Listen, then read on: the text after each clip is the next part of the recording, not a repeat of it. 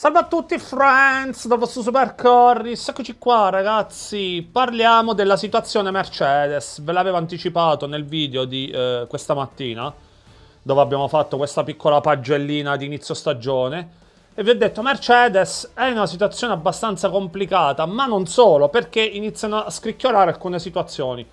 Sembra che anche quest'anno abbiano sbagliato parzialmente la macchina, e soprattutto iniziano ad esserci problemi con Hamilton, che è già promesso sposo di Ferrari. Qua non lo so se qualcuno lo dirà. Io credo che anche Mercedes Hamilton lo sta trattando un po' da eh, rincalzo, visto che abbiamo visto. Strategie non al top, Hamilton che non riesce a guidare la macchina dopo che l'anno scorso ha asfaltato Russell.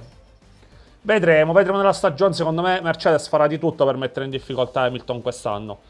Però comunque andiamo, eh, partiamo subito. Come al solito invito a iscrivervi a tutti i miei canali. Se volete lasciate un bel like, seguitemi sui miei social. C'è la mia raccolta fondi per la beneficenza Super Corris and Friends, link di PayPal in descrizione. Chi mi vuole aiutare a raccogliere fondi da donare in beneficenza può fare anche un euro di donazione. Fine mese verrete tutti ringraziati. C'è il sostegno e l'aiuto al mio canale. Donazioni, abbonamenti, potete aiutare il mio canale a crescere, a migliorarsi. L'obiettivo è l'acquisto di un PC che deve arrivare a breve. Delusione Mercedes, Wolf parla di grosso problema, mentre Hamilton mette in dubbio il concetto della V15.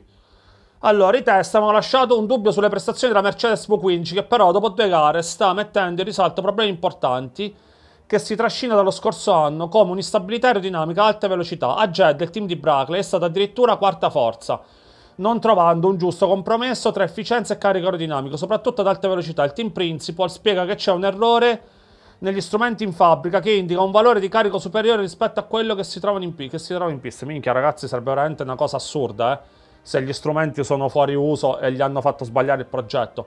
Mercedes è senza dubbio la più grande delusione di questo inizio di Mondiale 24. Dopo i test, corsi con programmi piuttosto diversi rispetto ad alcuni competitors come Ferrari e McLaren, molta intorno, c'era molta curiosità intorno alla V15. L'hype si era certamente alzato anche per via delle importanti parole di James Ellison, che aveva messo la propria vettura al secondo posto, parlando di, un miglior- di una migliore competitività della V15 in termini di passo gara rispetto alla Ferrari.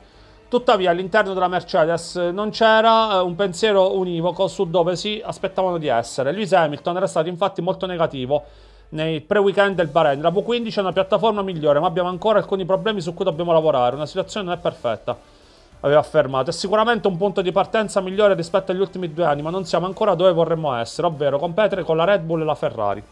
Quindi Hamilton già l'aveva detto. Non è la prima volta che Hamilton presenta un'opinione diversa da quella di alcuni membri della sua squadra e spesso quando parla in quel modo un importante fondo di verità c'è. Sono bastate due gare su piste molto diverse per, per verificare che quanto detto dal sette volte campione del mondo era vero. Se in Bahrain era presentato quell'importante problema al motore che aveva limitato all'inizio le V15, a Jeddah non c'è alcuna scusa che può giustificare una gara da quarta quinta forza dietro a Red Bull, Ferrari e McLaren in lotta con Aston Martin, ma soprattutto in confronto a Ferrari che sta dando ragione agli uomini di Maranello che sono saldamente seconda forza. Jed il passo di Leclerc è stato 4 decimi migliore della V15, la stessa distanza che c'è tra la Re... Eh, sì. Sì, sì, uguale, la Red Bull e la Ferrari 4 decimi. Cazzo di minchioni che sono questi qua comunque. La macchina è buona a bassa velocità e non è così male alle medie velocità, ma alle alte velocità che siamo lontanissimi dagli altri, ha spiegato Hamilton. Una verità assoluta, visto che la V15 nei tratti veloci Jeddah era una vettura da basso midfield, presentandosi in media con 10 km eh, orari da Ferrari, McLaren e Aston Martin, addirittura 12 dalla Red Bull. Alte velocità la eh, V15 era penultimo team in pista, sono davanti, sono davanti all'AS. Competitiva come la Sauber, addirittura leggermente peggiore di Alpine, Racing Bull e Williams. Ne è uscito un crono nello Snake da curva 4 a curva 10, peggiore di 3 decimi della Ferrari, di Leclerc, 4 decimi della Red Bull di Verstappen in qualifica, mentre in gara addirittura si ampliava un secondo. Wolf, abbiamo un grosso problema, ma eh, contiamo a spingere al massimo. Mercedes è scesa in pista Jeddah con una nuova ala posteriore piuttosto scarica, ma che come bilanciamento in termini di tempo sul giro avrebbe dovuto migliorare rispetto all'area a medio carico del Bahrain. Sapevamo di avere un'ala posteriore più piccola, ma stavamo compensando ciò che stavamo perdendo in curva. Il problema è che perdevamo troppo alle alte velocità, ha fatto sapere Wolf. Secondo l'ex team principal campione del mondo, c'è qualcosa di più importante della mancanza di prestazione alle alte velocità rispetto a una semplice questione di ala posteriore, ossia la V15 manca di carico aerodinamico, oltre a quello che potrebbe avere con un'ala posteriore più grande, un qualcosa che Mercedes ancora non ha compreso. Abbiamo un grosso problema, i nostri sensori, le nostre simulazioni dicono che in un certo intervallo di velocità dovremmo avere una eh, determinata qualità di carica aerodinamica, ma in realtà non l'abbiamo. affermato deluso, ma non, rassegna- non rassegnato. Perché secondo me faranno di tutto per migliorare. La V15 è una vettura certamente migliore di quella della passata stagione, ma si porta dietro alcuni limiti. A parte anche il modo in cui eh, ci vuole eh, per funzionare, ossia piuttosto vicino all'asfalto. Un qualcosa su cui Hamilton, seppur non direttamente, sta già mettendo in discussione. Mi viene a pensare che forse non abbiamo apportato i cambiamenti abbastanza grandi. Se guardiamo le tre squadre davanti a noi, eh, hanno ancora concetti diversi in alcune aree. Ha infatti fatto sapere il sette volte campione del mondo proprio eh, tre team che fanno lavorare le loro vetture con altezze maggiori rispetto alla Mercedes, mentre la V15 vuole correre molto bassa e incappa ancora in quel saltellamento che pensano di aver risolto. Sono passati ormai due anni da quando abbiamo scoperto il saltellamento ed è ancora qualcosa che dobbiamo comprendere appieno, ha detto Wolf. Vabbè ragazzi, sono fiduciosi per Melbourne, io ve l'ho detto.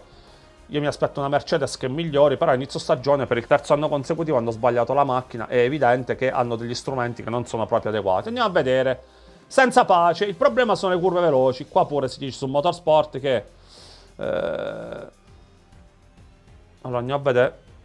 C'è qualcosa che non capiamo, ha dichiarato Wolf. Al termine del Gran Premio dell'Arabia Saudita siamo veloci praticamente ovunque. Sappiamo che eh, abbiamo un'ala posteriore più scarica e che stiamo compensando quello che perdiamo in curva, ma proprio ad alta velocità che perdiamo tutto il tempo sul giro. Secondo Wolf, il problema non risalirebbe a un errore di assetto, bensì a uno legato alla progettazione della monoposto, molto più grave. Credo che questo sia un problema importante, non c'è molto che potessimo fare nel mettere a punto la macchina a Jeddah. Le nostre simulazioni ci indicano direzione e questo tipo di assetto che poi scegliamo, dove, eh, che è questo tipo di assetto dove mettiamo l'ala posteriore giusta. Credo che si possa guadagnare qualche decimo se si azzecca o meno l'assetto, ma non c'è un corridoio enorme di prestazione. Si tratta più che altro di una questione fondamentale. Crediamo che la velocità debba esserci, misuriamo la deportanza, ma non la troviamo nel tempo su giro. Rispetto, eh, rispetto ai due anni passati, Wolf sembra comunque essere fiducioso. Il problema sorto nelle prime due gare della stagione può essere risolto in breve tempo grazie al nuovo concetto della monoposta adottata quest'anno, che vi ho detto io. Non date Mercedes per spacciata. Sono due anni che abbiamo, che dobbiamo individuare qualcosa ed è questo aspetto da sbloccare, dobbiamo solo lavorare. Non è per mancanza di tentativi, ci siamo impegnati a fondo e ora, eh, nella prossima settimana, faremo un'analisi approfondita e massiccia con più dati da comprendere. Torneremo al Melbourne forti. Siamo in missione e sono sicuro al 100% che riusciremo a colmare questo divario di prestazione, ha concluso il team principal. Quindi vedi, c'è anche fiducia. Mi ve l'ho detto ragazzi, mai dare Mercedes per spacciata nella lotta al secondo posto. Andiamo a vedere perché Hamilton sembra che sia già eh, in ottica Ferrari. Ma io vi giro la domanda: siamo sicuri che la Mercedes lo sta mettendo nelle migliori condizioni? Tra strategie sbagliate, problemi tecnici e un feeling non perfetto con la vettura, il mondiale 24 è scaltato con il freno a mano tirato per eh, il campione del mondo inglese, battuto da Russell.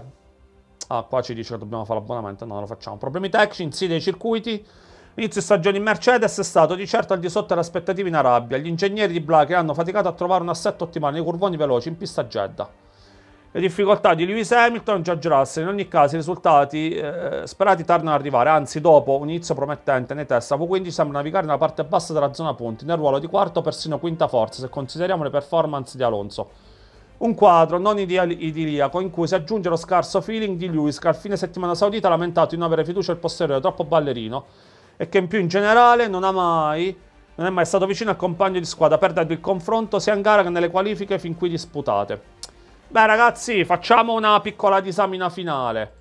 Da qua riusciamo a capire che Mercedes ha probabilmente delle problematiche nella progettazione. Evidentemente gli strumenti che ha non sono strumenti efficaci e portano spesso il team a sbagliare direzione dello sviluppo e della creazione dell'auto. Detto questo, abbiamo visto anche quando Mercedes si mette sotto, recupera situazioni. L'anno scorso da Barcellona in poi tornò a essere fortissima e a battere Ferrari quasi sistematicamente, soprattutto nella gestione gomme, nel fatto che riuscirono a portare delle migliorie che effettivamente eh, andarono a cambiare la situazione. Quindi ad oggi dire che Mercedes è un team... Eh, in netta difficoltà sì, però non diamola per spacciata perché sappiamo poi la forza di reazione del team tedesco. È chiaro ragazzi che come vi dico sempre io, ad oggi è tutto computerizzato è tutto a livello simulativo e spesso e volentieri se un computer, un sensore, un qualcosa di elettronico non funziona, fai danni e questo sta succedendo a tanti, pure la Ferrari l'anno scorso era certa di aver fatto una macchina mostruosa, andata in pista e non ce l'aveva, quindi non sarebbe meglio far riprovare i team in pista in modo da poter sviluppare le auto e crearle in maniera migliore? Eh, questo è il problema. Fin quando si fa tutto al computer, se becchi un periodo dove i tuoi computer non sono messi al meglio, la tua galleria del vento, i tuoi sensori non sono messi al meglio, fai anni di merda, come sta succedendo. Perché è quello che sta accadendo, ragazzi, senza se, senza ma. Io penso che Mercedes stia anche puntando tutto su Russell, facendo rimanere dietro Hamilton, perché sa che Hamilton se ne va e non ci punta per niente. Quindi ha tutte le eh, necessità Mercedes di far arrivare davanti Russell per poter dire, eh avete visto abbiamo levato il più scarso punto primo, per dare anche motivazione a Russell in un futuro in cui lui sarà il primo pilota. Perciò la Mercedes sta anche facendo questi giochetti perché non è solo un problema di macchina, abbiamo visto che Hamilton, anche le strategie, non è che gli stanno andando incontro, cosa accaduta già peraltro nel 2022. Quindi questa è la situazione Mercedes. Fatemi sapere se secondo voi torneranno forti o no. Ci vediamo nei prossimi video del vostro Supercore. Ciao, voglio.